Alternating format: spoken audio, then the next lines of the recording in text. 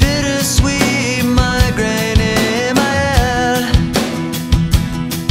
It's like a throbbing toothache of the mind. I can't take.